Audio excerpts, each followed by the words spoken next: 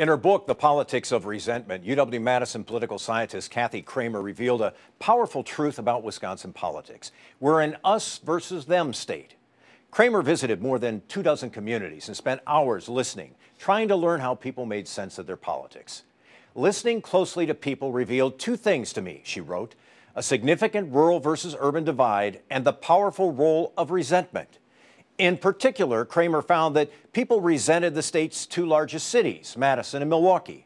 So it was no surprise when Madison Mayor Paul Soglin's entrance into the 2018 governor's race was greeted by this tweet from Governor Walker, who said, The last thing we need is more Madison in our lives. Paul Soglin is the latest extreme liberal who wants to take our state backward, just like he did in Madison, where businesses have left and murders have gone up. We want to go forward.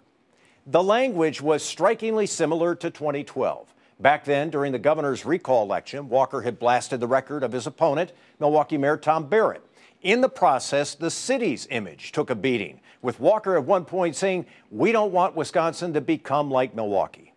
The governor's criticism of the state's two largest cities may not sit well with some, but the Walker campaign knows the us and them message resonates in small towns and rural areas across the state.